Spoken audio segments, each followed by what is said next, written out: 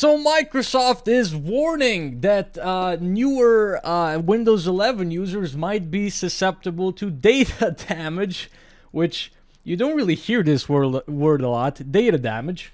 Uh, basically, what data damage means, uh, it means uh, data loss. You know, but I guess they didn't want to say data loss because that sounds a lot worse than data damage. You know, damage. Oh, can you like recover that? Probably, right? Even though I, don't think you could recover the data loss, data damage, whatever you want to call it, if this issue actually happened to you, because this uh, has to do with one of the features within Windows 11 uh, as far as encryption goes. And if you know encryption, if encryption messes up, your data is pretty much gone. You know, it's really not as simple as something, let's say your hard drive dies for example, or, or maybe your OS like loses the indexed path to a certain file, so now you have to re-index that so you can actually get there.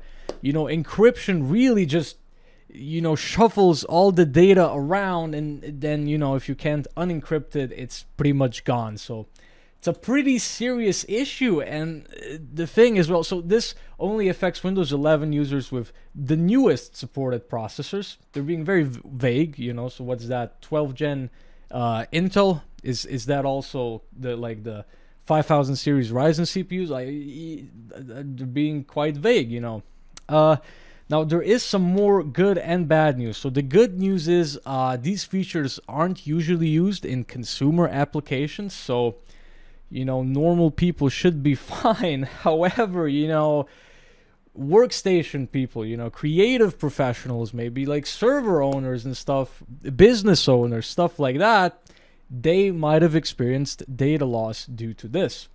And you know, when you're you know, if your business experiences data loss, if you don't have redundancy, uh, your business can literally just disappear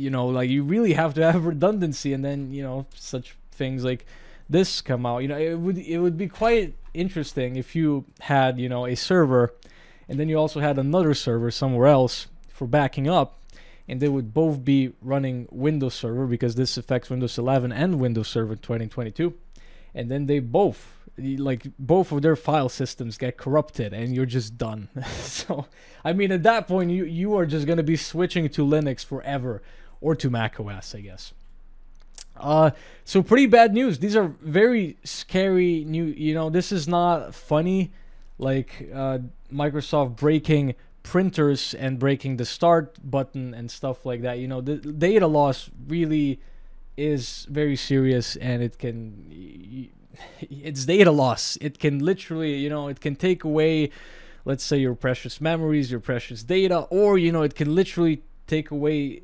businesses' way to like generate money or what. It's very scary. So, you know, uh, some some more Microsoft doing Microsoft things, I guess. Uh, hopefully, not many were affected, and those who were, uh, hopefully, they didn't experience anything too bad.